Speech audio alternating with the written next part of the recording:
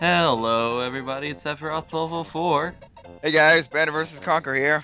Okay, so we have a little bit of a different video to talk to you about today. I'm gonna tell you what it is. It's the 20 year anniversary of the Super Nintendo, and we're making a tribute for it. Yay! That's right, and Super Nintendo's almost as old as I am. Well, the Super Famicom is. Stupid Super Famicom. How dare they not come to America? And how dare they not give us the more colorful controllers it had? Yeah, I always like that. Yeah, I mean, didn't you see the controller in the Japanese version? This is good How- stuff. How they how they have the yellow, red, blue, and green. Yeah. Sigh. Yeah, and we just get purple. Well, you know, purple is a nice color. Yeah, but I like having more colors. You know, and You're, should we talk you're very racially tolerant. Now let's move on. So, Super Nintendo was it was awesome. It was released in August 13th, 1991 in North America. thank you, Mr. Wikipedia. I found that on GameFAQs. Oh, I'm sorry. Thank you, Mr. GameFAQs. So the first game released for the Super Nintendo was technically Super Mario World And F-Zero. and F-Zero. We're talking about Super Mario World here, though. It was also released, the system was also released in Japan as the Super Famicom, November 21st, 1990. Yes, a day that shall live in infamy. It was also released in Europe on April 11th, 1992. It also had a smaller version released in October 1997. Yeah, that was the refurbished version. and there was another refurbished one in Japan called the Super Famicom Junior, rele- released March 27th, 1998. It's like the Game Boy Advance Mini. And several years after that exact date, the 3DS would come out in America. So, Super Mario World was one of those awesome things. It introduced Yoshi. And it introduced Mario into the 16-bit era. That's right. It's a glorious era. And then, 1992, we got one of the greatest games ever made. Legend of Zelda: A Link to the Past Yes. came out April 13th, 1992. It's definitely one of the most beautifully done 2D Zelda games I've ever seen. Nowadays, Ocarina of Time feels like a 3D version of it. Yep. It's a great story, some great items. But let's go back to 1991. We also got a game known as Final Fantasy II, That's right, Final Fantasy. really, released November 23rd, 1991. And it was Final Fantasy 2 for us, but in Japan it was Final Fantasy 4. Yeah, That's the game with uh with Cecil and all those That was and when you mean only Japan, that was another. That was one problem with the Super Nintendo, is that there were a lot of great games that never saw America. They were only only in Japan, Yep. It's very unfortunate. and we didn't get the final game for the Super Nintendo, which I think we'll talk about later. Yeah, we'll talk about the end of the discussion. Uh, some awesome franchises spawned out of the Super Nintendo. You know, we got uh, obviously we got uh, you know stuff for the Mario games. We got the Yoshi games. Uh, started with uh, Yoshi's uh, Island. Yeah. We got uh, I mean Legend of Zelda went further. We got Donkey Kong Country. Oh, the greatest 16-bit game ever. Yeah, that game was was was amazing. I I remember uh, when I was a kid in my orthodontist's office, way back when he had all the systems. I used to play the Super Nintendo there, and I would play games like Donkey Kong Country. There was a Oh yeah, Doctor. I think I remember having something that Nintendo sent me explaining that. what? They, they I remember I once sent them a message, you know, and they gave me back something that you know tells me the history of Nintendo, and they said they had Super Nintendos in hospitals. Yeah, I mean And it's really it's a really great way to uh, distract. and by the yourself. way, Donkey Kong Country was released November 25th, 1994, very nice. 1994 is a good year. made by Rareware. Before Yeah, they sucked before they defected over to Microsoft. And became the Activision of this generation. I love how you keep on using that.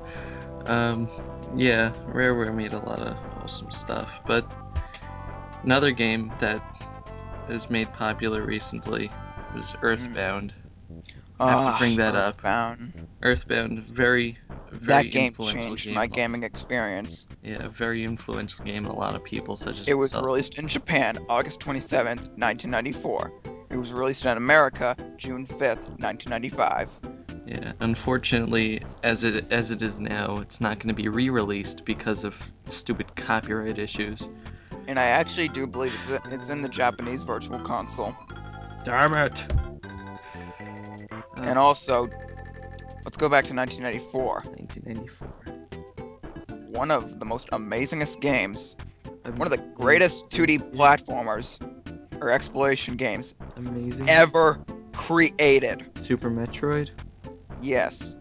It was released in Japan March 19th, 1994, April 18th, 1994, Super Metroid. That was an amazing game. It and we can't and we, go, let's go back to Donkey Kong Country. We can't forget about its sequels. yeah the It was really released in Japan November 21st, 1995, and December 1995 in the US. Donkey Kong Country 2. Yeah, Yeah, Diddy Kong's Quest. I've actually never played two or three, yeah. And let's t- uh, talk about the sequel to that game as well. but Dixie Kong's Double Trouble something. Yep. It came out in US in November 1996. Yeah, and another another game that uh, that I don't know how many people here have actually played, but uh, came out in the Super Nintendo Earthworm Jim. Oh yeah, wasn't that also on the G- Genesis? Yeah, I think it was. Earthworm Oh, Jim it's- was hilarious. It was so weird. And also, let's talk about when we were talking about when we were talking about sequels. We can't forget Super Mario World 2. Oh, yeah, that's Yoshi's Island. That was an awesome game. It came out in Japan August 5th, 1995, October 4th, 1995, in in America. Yeah, uh, I love Yoshi so much. I love just making all the sounds like Yoshi. Things like- Yoshi! no, no, no. Yoshi! And, And you know what? Sound of his And. Earthbound's an RPG, right? Yeah. Super Nintendo also showed that the world's greatest video game character can also be in an RPG. You know who my, what I'm thinking of? Um. Super Mario RPG. Oh, of course. Super Mario RPG. It came out in Japan March 9th, 1996, uh, May 13th, 1996 in America. That game was that game was amazing. Aside from the fact that it was made by uh, Square. Squaresoft, well, obviously it's an awesome RPG before Squaresoft sucked. Yeah. Before they before they left Nintendo. Quite unfortunate. Originally, actually, I believe that uh, Paper Mario was also supposed to be done by Square until they left, and then they gave all the uh, stuff to Intelligent Systems. And honestly, I just Mario RPG in my opinion is much better. And why are we even talking about Paper Mario? Because it's, it was almost made by Square. And yeah, we're talking about the N64. We gotta go back to the Super Nintendo, damn it. well, Super Mario RPG has amazing gameplay. It's uh, one of those games I really like because it has an interactive battle system. It's not just you know you select an attack, but you can do like uh, you know the timing on attacks and things like that. The music Yeah. was unbelievable. Yeah. had a very fun- Well, yeah, that's that's the most famous. All the all the music in the game. Same with Yoshi's Island. Actually, I really love this the the music of the 16-bit games. Yeah, it was much better than that crappy sound that Genesis gave. oh, the Genesis. And let's why don't we go back to Final Fantasy? Let's talk about Final Fantasy 3, Final Fantasy 3. That was a that was another great game, Final Fantasy 3. Which was really Final Fantasy VI. Yeah, but we don't like talking about that.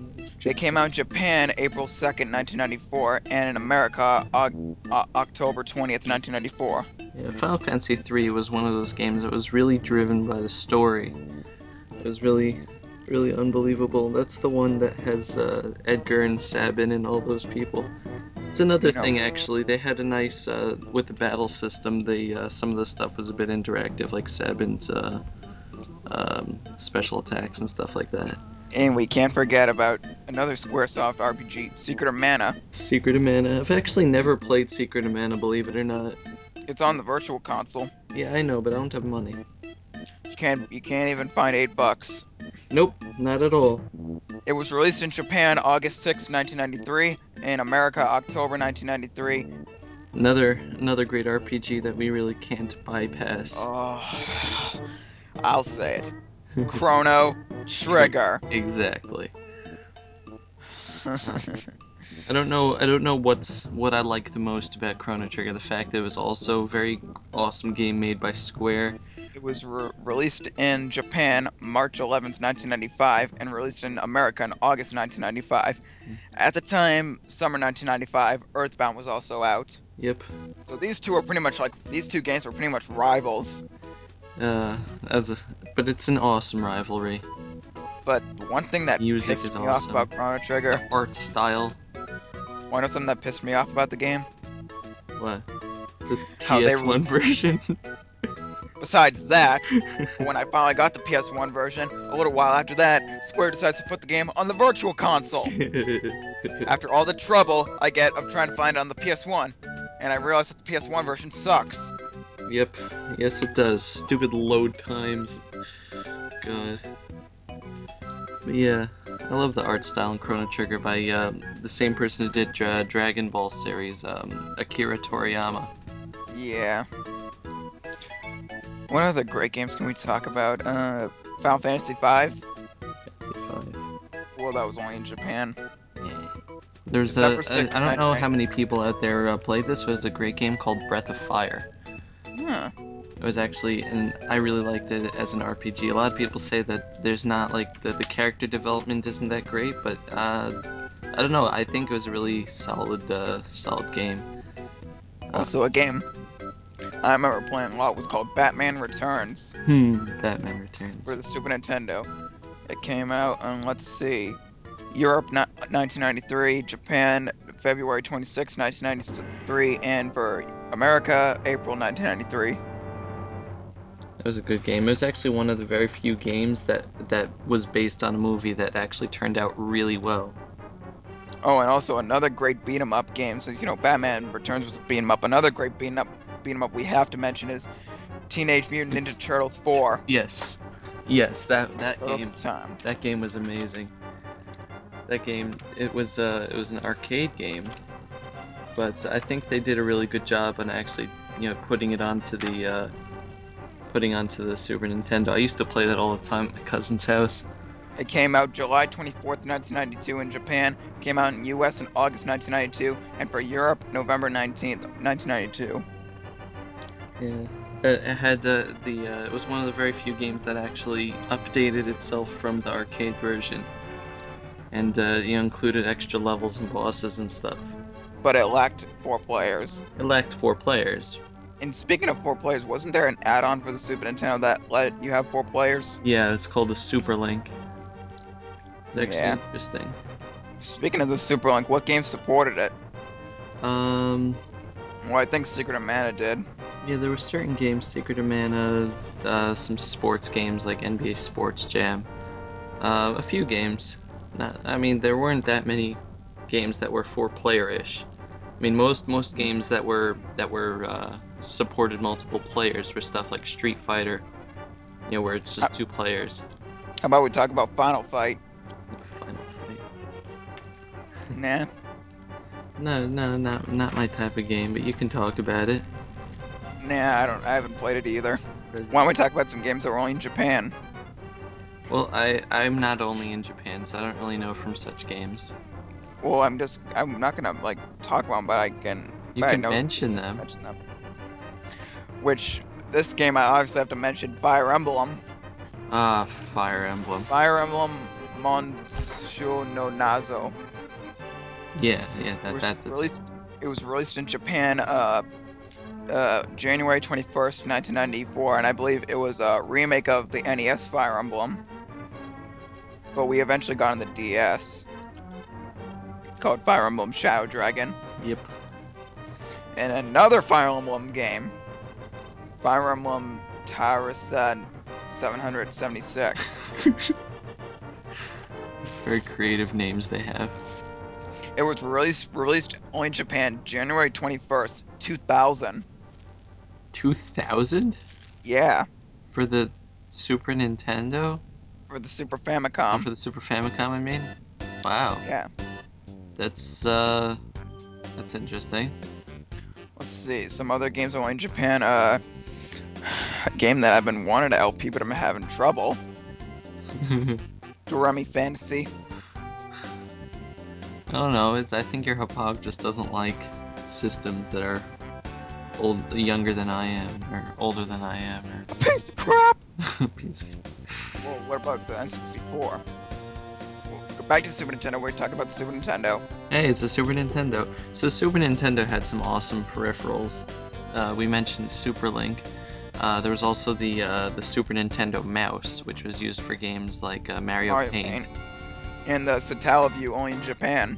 Yeah, and uh, also games an- Super Nintendo. Uh, It was an Cool. online service add-on. it's cool. And also uh, Super Nintendo ports like Doom. Uh, yeah, Doom.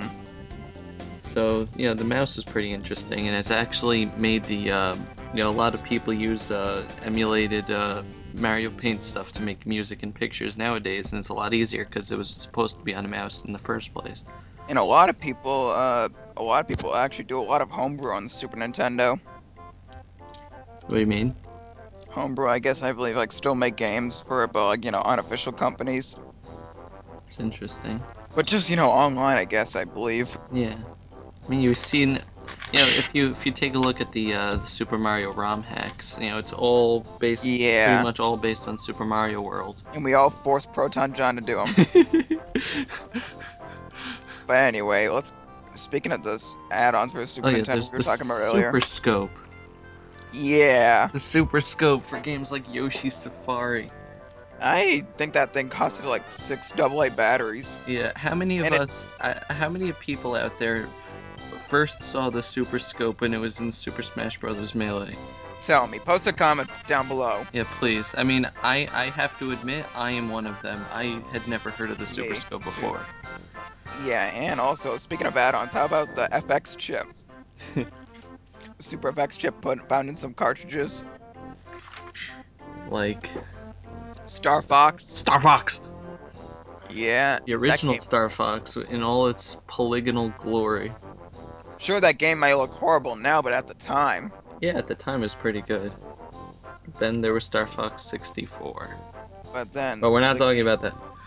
But then the game, the, the Star Fox game that never saw the light of day. Star Fox 2. If you want to play Star Fox 2, it's found on online on some emulators or some ROMs. I mean, You ever play it? no. Me neither. Oh, why don't we talk about Street Fighter? I'll fight you on the side of the street. Oh, wait, no, wrong. Okay, we had Street Fighter 2, Street Fighter Turbo, Street Fighter 2 Turbo Hyper Fighting, Street Fighter 2 The World I like how they keep on adding the names onto everything. That's Oh, wait a minute, making Street Fighter 2 Turbo Hyper Fighting. I don't think that game exists. No, it, it does.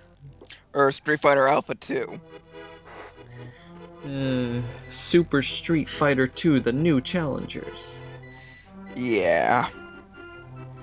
So pretty much Street Fighter 2 was a success and they just kept on adding things year after year to it and calling it adding Speaking another Of, speaking of Street Fighter 2, it was the only. The Super Nintendo was the only 16-bit system to get that game. Street Fighter Alpha 2 was also on the PlayStation, Saturn, PC, and arcade. Interesting. So yeah, the Super Nintendo was the only 16-bit machine to get that game. Yeah. That's because the Super Nintendo was the best. Mega Man X, let's talk about that. Oh! Mega Man X. That was just that's one of the best Mega Man games ever. Yeah, it was it was it was, it was was really- different. It was, it was released December 17th, 1993 in in Japan. In America, January 1994. I don't think I, I don't think I talked about releases in a while for a while now. It's okay, we'll forgive you. Oh, also a game called oh, Demon's Crest. I don't think I've heard of that one actually. It's an enemy from Ghosts and Goblins with his own game. That's weird. Ghosts and goblins. Uh, there was also a Super Nintendo game called Super Ghouls and Ghost. Oh, that's right. That's right. Is that the one that was impossible, or was the original one the one that was impossible? I think it was the NES one. The unreleased blind, the unreleased gameplay video I made of it, which which didn't come out well because of that pog. yeah. Stupid, stupid Pog. How about Mega Man X2? NX3. It Yeah. became a whole franchise. No, how about Mega Man 7? There's a whole load of Mega Man games, actually. There was uh, some nice remakes also, like Super Mario All Stars. Oh yeah. Which And, included Super Mario Bros. 2, aka The Lost Levels. and what about the a fighting game that got really criticized on the Super Nintendo, Mortal Kombat? and Mortal Kombat. Back The- when its graphics were not that great, and it was a lot of Super- blood and violence. The Super Nintendo version got criticized a lot because it was censored. That's right. Sega unlike the Genesis, though. Sega Genesis was like, "Hey, bring on the death and destruction." Didn't But in Mortal Kombat 2, it was fully uncensored. That time, the Super Nintendo won, That's right. and I believe that the Super Nintendo had also Ultimate Mortal Kombat 3. I don't know. Yep, it did. Harvest Moon. Oh, Harvest Moon. I love Harvest Moon. Hmm. Harvest Moon, that was, I believe it was one of the last Super Nintendo games. It came out in 1997. Yeah. There are. The Harvest Moon series, I kind of have a mixed feeling on it. Like, some games on the series are, like, really good, but some, there are some that are just absolute crap. Well, I Like- actually have never played it, so I can't argue one I have way or the Harvest other. Moon on the Virtual Console. It's also Kirby Superstar. Oh, yeah, and what about Kirby Dream Land 3? Dreamland 3. Very. That was, like, I believe the last game Nintendo made for the system. It's unfortunate. It was a great Kirby. system. Kirby Dream Course, Kirby's Avalanche. Of course, we can't uh, we can't talk about the Super Nintendo without also talking about Sega Genesis, Uh, yeah. That biggest gaming rivalry. The Civil War video game style. Back it could only be on one side. back when you weren't allowed to have both systems. It's like you're if you have a Super Nintendo, you're on Nintendo side. You have a Genesis, you're on Sega side. You you couldn't have both systems. No, that would be blasphemy. It was one of the biggest video game wars with both systems, pretty much Mario versus Sonic, trying to outdo the other. Remember when the Genesis was always going, Genesis does, Genesis does, when Nintendo don't. really? really Ninten- brought out the best in both systems, though. Remember what the Nintendo is, what Genesis isn't? But let me just say, the Genesis does what Nintendo don't. And then the Super Nintendo came out, and it was pretty much a 16-bit system that was pretty much better in every single entire aspect. Yep. Better graphics, better games, better sound, especially sound. Especially sound, definitely. Listen to Super Metroid and Earthbound's music. Ah, Earthbound. Like I'm, I know in Super Metroid, I always go into that Red Brinstar place and listen to that music all day. Remember Donkey Kong Country soundtrack? Remember Ah, those water levels? They were all awesome. Those water levels. That music was so peaceful. Yeah. One of my favorite tracks from Earthbound is the uh, the 3D music. Yeah, and Mr. Saturns. Was just a great game. yeah. And of course, who won the war? Let me see. But during, at the time during the war, both consoles really could not get higher or lower. They were pretty much most of the time even. Okay, Eventually, though. it's like neither console could maintain a defensive lead in the market share for several years. But then in the end, who won the battle? Who do you think? Nintendo. Yeah. Let's see. Uh, I think it was, what was it, 23 million consoles versus 20 million or something? Yeah, but nowadays I think the Super Nintendo has 49 million something. Okay, it has 40. As of now, it has 49.10 million units sold. Yeah, so let me let me ask the people out there, what was your favorite uh, Super Nintendo game? And which console did you prefer? Yeah, who, which side of the, the war were you on? Were you on Nintendo side or were you on Sega side? Were you on Nintendo side or the losing side? Which do you think had the better controller? I, I never really liked the Genesis controller. I mean, I know it's very overrated. It scared me. Speaking, when we talk about how the Super Nintendo had better graphics, it also had Mode 7. Go on. You know about Mode 7? I do, but I can't explain it. Very bad. the games like Secret of Mana and Chrono Trigger supported it. Go on. People just go on Wikipedia to find out. And why don't we talk about the Super Game Boy? Uh, oh yeah, I forgot about that Super Game Boy. I remember having so much good memories playing Pokemon Red on that. Yeah, that was really, that is great. Like, just, you have this awesome feeling if you just play Pokemon Red with that thing. Hmm. or even Pokemon Blue. it's the same game. But when this war with the Super Nintendo and Genesis, they both shared the final game. The last game released for the systems in America. In America. This is not Yu-Gi-Oh! Abridged. Was Frogger. oh, Frogger. But the port for the Super Nintendo and Genesis was absolutely horrible. It was a terrible game. It was a great way to end off the system. It was released no- for both systems November 1998. November 1998. It was already when Ocarina of Time was out then. Time was out. So the chances this game sold were probably under a thousand copies. Wah, wah. That's just a guess. Who knows? But that wasn't the Super Nintendo's final, final game. The last game released for it was Metal Slader Glory Director's Cut. It was released in, oh my god, November 29, 2000. Ridiculous. Well, technically also in a Nintendo Power Edition, December 1st, 2000. Now, at the very end of 2000, the PlayStation 2 was already out. Yeah, the GameCube was on its way. and the, the PlayStation 2 was even out in America. yeah, it was released everywhere in the world at the time this, th- this Super Nintendo's last game came out. That was pretty funny. In the end, Super Nintendo had a long life. A very long life. Long and prosperous one. It's the last game since it was released in 1990 in Japan and ended in 2000. It had a good 10 year life. And well, Well, I think this video is running on a bit long. yep, so, So, I What- hope you guys had a fun trip down memory lane if you have and, uh, played any of these things. and tell us, what were yours, what were some games you remember? You know what games you remember, favorite memories, favorite soundtracks, stuff like that. Even if some Japanese people who know English are watching this, tell us what games did you own that we never had, like the Final Fantasy games. Or Seiken Densetsu 3. Oh yeah, that game. We forgot to mention that. That's okay. And tell us if, if you have played Metal Slader Director's Cut.